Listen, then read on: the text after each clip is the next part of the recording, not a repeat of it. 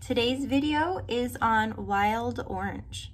And wild orange is a sweet, wonderful smell that is invigorating. I love it. It smells so good. It smells like I'm cutting into an orange and I'm gonna eat it.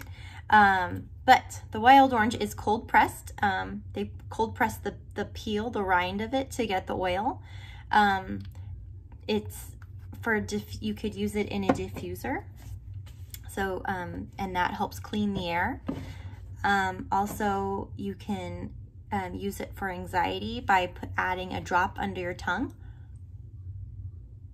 like that, and then hold it for 30 seconds and then swallow. And you can um, also add it for um, a drop in your hand. Take a couple deep breaths of it. You can rub it on the back of your neck just be careful if you're going to go into the sun because um, any of the citrus oils um, can, it's a photosensitive oil, so it could, um, like, you could burn easier with that.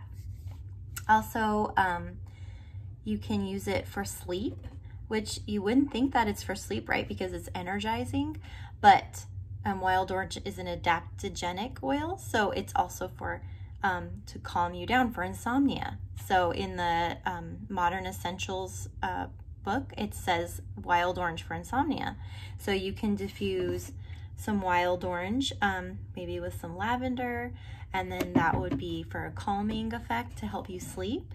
Um, uh, you, but you can also pair wild orange with peppermint, and it would be more uplifting and give you a lot of energy. Um, if it's the midday or if you're um, needing it to refocus, this would be a great oil to use for that too.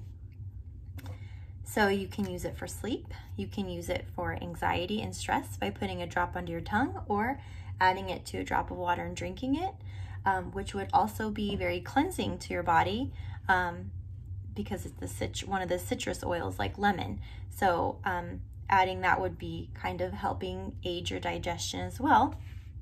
And um, it's just a wonderful mood lifting oil, and I hope that you enjoy this one. Have a great day.